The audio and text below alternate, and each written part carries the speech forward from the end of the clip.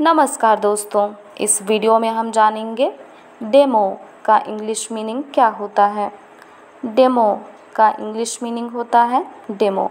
इसे हम एग्ज़ाम्पल से समझते हैं। Example you can test the program by downloading a demo version of the software उदाहरण सॉफ्टवेयर की डेमो संस्करण को डाउनलोड करके आप प्रोग्राम का परीक्षण कर सकते हैं।